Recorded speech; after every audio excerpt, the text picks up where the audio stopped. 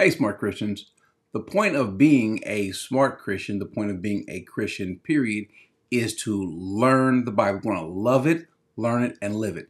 We want to be able to effectively communicate it. The problem is, though, when people are learning the Bible as they're going through that stage, you also need a good family where you can learn and fellowship together. The problem is trying to find a good fellowship, a church where they are learning the Bible without a lot of fluff, without a lot of gimmicks and so forth who are uh, focusing on the pure, unadulterated, uh, uncompromised Word of God. It's getting harder and harder. There are a lot of good churches out there, though, and this is where you guys come in. I need your help. We need your help. The body of Christ needs your help. Why?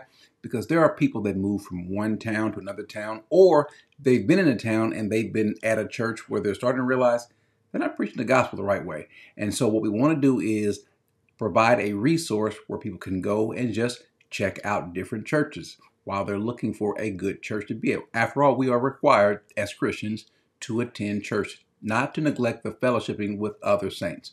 So here's how you can help.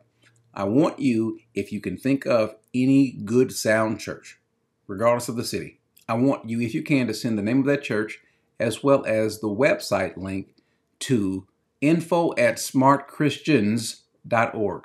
What we're going to do is we're going to compile all the different lists from all over the country so that people, no matter where they are, maybe they're visiting, maybe they moved to a new town, or in their in their particular region, they can go on to the site and they can click on, they can see the different churches that are there.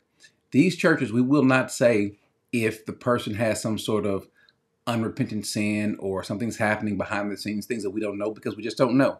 But in terms of fleshing out their doctrine and so forth, obviously we're not going to agree on everything but they're not teaching something that is off the farm, things that just are not sound. And so you can help us to help other people by sending in names of churches. Maybe it's your church, maybe it's a church that you know of that you don't go to, but if you didn't go to your church, you'd go to that church.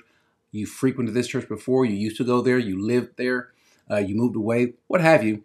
But if you know of churches, one, two, ten, doesn't matter, we're going to have different people that are going to vet these churches out and then put them on the site so that that way people can come and if they're looking for a church, they can click on there. And so that's something that you all can do to help us all out, help us to help others in the body.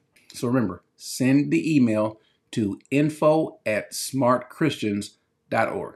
You will, you will greatly help people who are in need of a good sound church. Amen.